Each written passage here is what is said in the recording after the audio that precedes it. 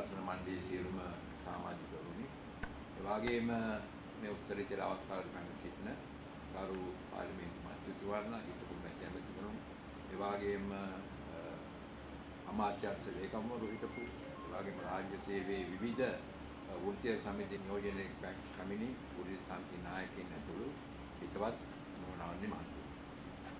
මෙම සම්මේලනයේ පැවැත්වීමට අපි තීරණය කළේ රාජ්‍ය සේවයේ මහා බිඳවැටීම සම්බන්ධයෙන් ගරා වැටීම සම්බන්ධයෙන් විවිධ අංශ වලින් අඩක් නැගුණා.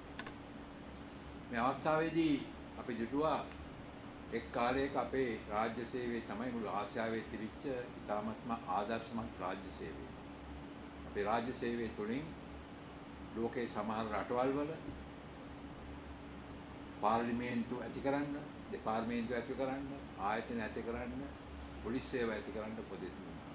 එවැනි තිබිච්ච ආදර්ශමත් රාජ්‍ය සේවය අද බෙද බිඳ වැටී තිබෙන අවස්ථාවක ඒ වගේම දේශපාලනය කරන තියෙන අවස්ථාවක මේ හඬ නැගුණ අවස්ථාවේදී සාධාරණ සමාජයක් සඳහා වූ ජාතික ව්‍යාපාරයට විවිධ කොටස් වලින් මේ ඉදීම දැම්ම මේ සම්බන්ධයෙන් අපේ යුතුයකම ඉෂ්ට කරනවා. නිසා අපි අද මේ ඉදිරිපත් වෙන්නේ සාධාරණ සෝබිත ස්වාමීන් වහන්සේ විසින් ආරම්භ කරපු ඒ උදාර පරමාර්ථය මේ රටේ යුක්තිගරුක යුක්තිගරුක සාධාරණ සමාජයක් ඇතිවීම සඳහා මූලිකත්වය ලබා දීම. ඒ අනුව අද ඉතාමත්ම සම්භාවනීය ආරාධනෙ පිටසක් මෙතන ඇවිල්ලා තියෙනවා. රාජ්‍ය සේවයේ විවිධ ශ්‍රේෂ්ඨ ධර්ම. ජේෂ්ඨ කනිෂ්ඨ සෑම අංශයක්ම නියෝජනය කරමින් නියුතෙන් මෙතන පැමිණ සිටිනවා. අපි බලාපොරොත්තු වෙනවා අද මේ සම්මේලනය තුළින් අපිට රජයට කියන්න පුළුවන් මේ කියලා හරි පාරේ ගමන් කරන්න. ඒ නිසා ඒ වගේ මම කියන්නේ හැමදාම අපි මෙතන සම්මන්ත්‍රණ පටන් ගන්නකොට අපි කියන එක විදිහට තමයි මේ ගැන කලබල වෙන්න එපා. මොකද අපි ස්වාධීන ආයතනයක් වශයෙන් අපිට කිසිම දේශපාලන අභිප්‍රායක් නැහැ. අපේ කිසිම කෙනෙකුට ජානජත් විදි වර්ණන තරම් කරන්නවත් අගමැතිකම් ගන්නවත් ආණ්ඩු හදන්නවත් ආණ්ඩු පෙරලන්නවත් අපේ බලාපොරොත්තුවක් නැහැ. නමුත් අපිට යුක්තිය සාධාරණ ඉටු කිරීම වෙනුවෙන් ජනතා සිත සැලසීම වෙනුවෙන් අපේ යුතුයකමක් තියෙනවා. ඒ නිසා තමයි අපි අද මේ ඉදිරිපත් කරන්නේ. ඒ වගේ මේ දවස්වල චෝදනාවක් එනවා රාජ්‍ය සේවය හමුදාකරණය වෙලා. අමාර. නමුත් මම දකින විදිහට යුද හමුදාවත් රාජ්‍ය සේවයේ කොටසක්. ඉතින් මෙතෙන්දී අපි සියලු දෙනාම රාජ්‍ය සේවය තුළ අපි බලාපොරොත්තු වෙන්නේ ස්වාධීන හෘද සාක්ෂි අනුව වැඩ කරන්න පුළුවන් දේශපාලනයෙන් ඇඟිලි ගහන්නේ නැති දේශපාලනයෙන් බලපෑම් කරන්නේ නැති ස්වාධීන රාජ්‍ය සේවය. ඒ වගේම අපි විශ්වාස කරනවා ඒ රාජ්‍ය පාලනයේදී විශේෂයෙන්ම රාජ්‍ය නිලධාරී ස්වාධීන වේ. මෙතෙන්දී මට සඳහන් කරන්න තියෙන්න ඕනේ, සඳහන් කරන්න ඕනේ සමහර අවස්ථාවල අපි දුටුවා නැතුණෙදී තා කීප දෙනෙක් රාජ්‍ය නිලධාරීන් දේශපාලනයට හවුල් වුණා. සමහරු දේශපාලන පක්ෂ රැස්වීම් වලට සහභාගී වුණා. දේශපාලනික සමග කිට්ටු සම්බන්ධතා ඇති කළා. ඒ තුළ අපි දුටුවා විශාල බිඳ වැටීමක්. මේ යම් කිසි වගකීමක් දරනවා. ඒ නිසා රාජ්‍ය සේවය තුළ කිසිම විදිහක ඉංග්‍රීසි ගැටීම් වලට රාජ්‍ය සේවය තුළ කිසිම විදිහක අයථා විදිහට බලපෑම් කිරීමට අපි ඉඩ දිය යුතු නැහැ. ඒ වගේම රටේ ඕනම රටක ආරක්ෂාවට රටේ ජාතික ආරක්ෂාවට යුද්ධ හමුදාවට තෙමිද හමුදාවට විශාල වගකීමක් තියෙනවා. ඒ වගකීම උන්ගේ තියෙන්නේ මේ රාජ්‍යයේ. මේ රාජ්‍යයට වගකීම සෑම හමුදා නිලධාරියෙකුටත් තියෙනවා. ඒ නිසා අපිට අවශ්‍ය වෙන්නේ ඒ ස්වාධීනත්වය රැක ගැනීම. ඒ වගේම අපි දැකලා තියෙනවා ප්‍රජාතන්ත්‍රවාදී රජයන ලෝකයේ දියුණු රටවල් ඇමරිකාව ඉන්දියාව බ්‍රිතාන්‍ය ප්‍රංශය ජර්මනී වගේ රටවල් වල රාජ්‍ය සේවය ඒ අයගේ යුතුකම් ඉෂ්ට කරනවා. හමුදාව ඒ අයගේ යුතුකම් ඉෂ්ට ශක්තිමත් හමුදාවක් වගේම ඒ වගේම කීර්තිමත් රාජ්‍ය සේවයක් ඒ සෑම ඒ රටකම ඒ ප්‍රජාතන්ත්‍රවාදී ආරක්ෂා කර දීමේදී ඒ දුරුදු එක්දයක් තමයි රාජ්‍ය සේවය තුළ තියෙන ඒ ස්වාධීනත්වය. හමුදාව තුළ තියෙන ස්වාධීනත්වය. අපිට අපේ ත්‍රිවිධ හමුදාව ගැන කතා කරනකොට අපිට ආඩම්බර වෙන්න පුළුවන්. ශ්‍රී ලංකා යුද හමුදාව, ත්‍රිවිධ හමුදාව අපි තත්ත්වවාදයෙන් මුදවාගෙන ඒ වගේම මේ වගේ විවිධ අවස්ථාවලදී ජනතා සේවයට කැපවෙනවා. ඒ වගේම විශේෂයෙන් කෝවිඩ් වසංගතය ප්‍රශ්නයේදී ත්‍රිවිධ හමුදාව කරපු සේවාව, රාජ්‍ය සේවාව කරපු සේවාව, රාජ්‍ය සේවය කරපු සේවාව අපි අගය කරන්නේ. විශාල කැපවීමක්. ඉතින් ඒ නිසා මෙන්න මේ කරුණු මම හිතුවා විශේෂයෙන්ම මේ බුද්ධිමත් කණ්ඩායම් ඉදිරිපත් කරන්න. ඒ වගේම අපි දුරුව රජයේ විසින් යම් අවස්ථාවක එක සේවාවක් අනෙක් සේවයට ඉහළින් තවන්න හදනවනම් අන්න එතන ගැටුමක් ඇති වෙනවා. රජයට කියනවා මේක කරන්න එපයි කියලා. ඒ නිසා වැරදි හැඟීම් ඇති වෙන්න පුළුවන්. එහෙම නැත්නම් පුංචි මදිකම් ඇති වෙන්න පුළුවන්. රාජ්‍යයේ සියලු දේනාම එක හා සමානව සලකලා ඒ අයට අවශ්‍ය විදිහට පාසුකම් සලසලා දීලා අනවශ්‍ය ඇඟිලි ගැසීම් වලින් තොරව මේ රට ගෙනියන්න දෙනවා නම් මේක ඉතාමත් වාසනාවන්ත රටක් කරන්න පුළුවන්. මේ කතා කරන මමත් අමුදා පසුබිමක් තිබුණුනේ පුජ්‍යලෙක් වශයෙන් උත් ඒ වගේම අවස්ථා දෙක රාජ්‍ය පරිපාලන හා ස්වදේශ කටයුතු අමාත්‍යවරයා වශයෙන් කටයුතු නිසා මට මේ සේවා දෙකේම ඇති වටිනාකම හැකියාව දක්ෂකම කැපවීම ගැන කතා කරන්න. ඒ නිසා මම බොහොම ආඩම්බරෙන් කතා කරන්නේ අපේ රාජ්‍ය සේවය ගැන කතා කරනවා. තමන්ට කාර්යක්ම දක්ෂ කැපවුණු අති බහුතරයක් රාජ්‍ය සේවය. අර මම මුලින් කියාපු තුන් හතර දෙනෙකුට නැතිව. ඒ වගේම අපේ විධාමදාව ත්‍රිවිධාමදාව ලෝකේ ගෞරවයට පාත්‍ර වෙච්ච විනයගරුක කැපවුණු හමුදාවක්. ඉතින් මේ දෙක මේ පාර්ශ්ව දෙකේම සහයෝගය දුර තමයි උඹත් දේවල් අපි අතීතයේ ලබා ගත්තේ. මම හිතුවා මට වගකීමෙන් යුතුව කියන්න පුළුවන් කරුණු කීපයක් මෙතෙන්දී පැහැදිලි කර දීම රජයේ දැන ගැනීම සඳහා කළ යුතු දෙයක් වශයෙන්.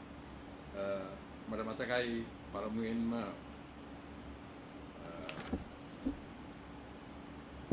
විලාස් තුනේ මේ රටේ ඇති වුණා මහ විශාල ගම් වතුරක් හා නාය යන. ඒක තමයි ලංකා ඉතිහාසයේ ඇති වෙච්ච විශාලතම භයානකම ගම් වතුර හා නාය යන. 283 දෙනෙක් මිය ගියා. පාසල් ආරෝග්‍ය ශාලා පොලිස් ස්ථාන රජයේ ගොඩනැගිලි ඔක්කොම කැඩුනා. පාලම් කැඩුනා. ගෙවල් 43000ක් අර්ධ වශයෙන් සම්පූර්ණයෙන්ම විනාශ වුණා. 1983 ඒ අවස්ථාවේදී අපිට ලෝකේ හොඳ හිත ලැබුණා. ඒ වගේම මේ අවස්ථාවේදී එක්සත් ජාතීන්ගේ සංවිධානය ඉදිරිපත් වෙලා ඒ සම්බන්ධයෙන් අනාගතයේ තියගත යුතු පියවර සම්බන්ධයෙන් උපදෙස් දුන්නා. ඒ තුල ඒ කටයුත්තේදී රාජ්‍ය සේවයත් ඒ වගේම හමුදාවත් එකව වෙලා මාස 6ක් තුල මේ රටේ සම්පූර්ණම ජන ජීවිතය යථා තත්ත්වයට පත් කරා. පාලම් හැදුවා, පාරවල් හැදුවා, පාසල් හැදුවා, ආග්‍රචෝලා ආරෝග්‍ය ශාලා ප්‍රතිසංස්කරණය කළා. ඒ වගේම ගෙවල් හදලා දුන්නා. නියම විදිහට. ඒ නිසා ඒ ක්‍රියාව අපි දන්නවා එක්සත් ජාතීන්ගේ සංවිධානයේ ඊටාත්ම ආදර්ශමත් පිළිඅරන් මේ මොඩලේ මම දන්න විදිහට මම මේක සම්බන්ධ වෙන්න මට කියන්න පුළුවන්. මම මොඩලේ අනිත් රටවල දාලා ඒක කරන්න පුළුවන් වෙන්නේ සෑම ප්‍රශ්න එක්ව කටයුතු කිරීම. අනිත් අවස්ථාව තමයි මට මතක විදිහට නැගෙනහිර මුදාගත් අවස්ථාවේදී නැගෙනහිර මුදාගත් අවස්ථාවේදී ජන ජීවිතය දින 180කින් යථා තත්ත්වයට පත් කිරීමේ කාර්යභාරය රාජ්‍ය පරිපාලන ප්‍රදේශ කටයුතු අමාත්‍යාංශයට පැවරුණා. වැඩ ආරම්භ කරපු පළවෙනි දවසේ මට මතකයි ඒක රාජ්‍ය සේවකයෙකුට වෙඩි වෙන්න මිය ගියා. මුල් දවස්වල මේ රාජ්‍ය සේවකගේ ටැංකිය වල ඉර ටැංකිය වල එහෙම නැත්නම් හමුදා වාහන. මෙයාගේ පැමිණීම ඒ කොටස් පිළිගත්තේ නැහැ. විශේෂ විරෝධතාවය.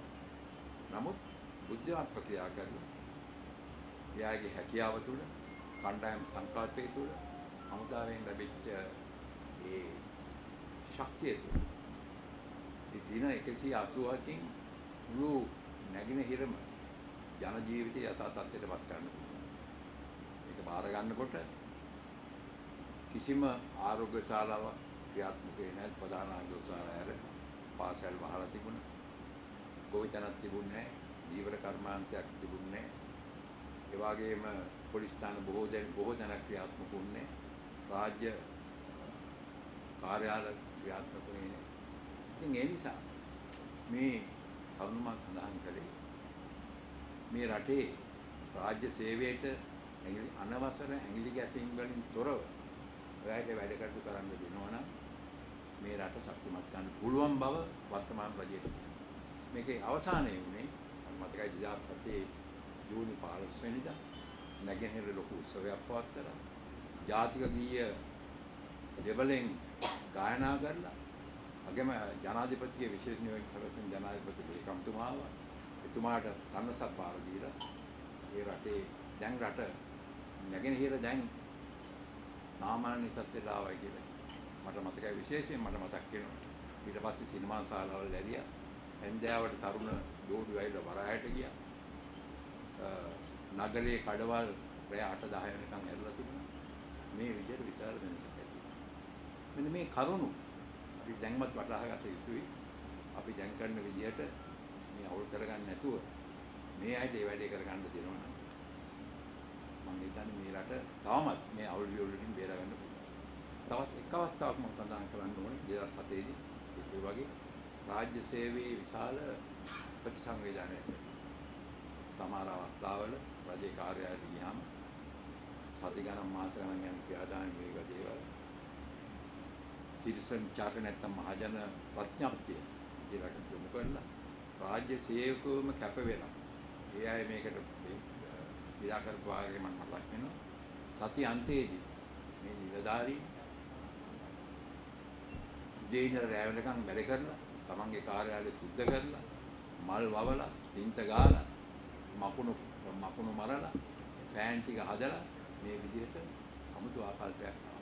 ඒ නිසා මේ මහජන ප්‍රඥප්තිය තුලින් කාර්යාලයට ඇතුල් වෙනකොටම තියෙනවා මේ කාරණේ සඳහා සිද්ධ වෙන්නේ මෙච්චර විනාඩි 30යි මේ කාර්යයට පැය වාගයයි මේ කාර්යයට දවසයි මේ කාර්යයට මේ කාර්යයට සතියයි මේ විදිහට කියලා ඒක ඔක්කොම දාලා දෙන්න නිසා මම සමහර අයට මතට ඒක සම්බන්ධ වෙච්ච නිර්දානින් මෙතන ලේකම්බු මෙතන ඉන්නු නිර්දානින් මෙතන ඉන්නු ඒ කැපවීම මට හිතන්න මම සමහර විතරින් එහාට ගිහිල්ලා ඒක සෑම දෙනෙකුටම බෙලිමල් කෝප්පයක් දෙන්න තනසු ඔක්කොම ස්වේච්ඡාව. ලස්සනට මල් වතු හැදුවා. ඒ කැපවීම දැක්ක.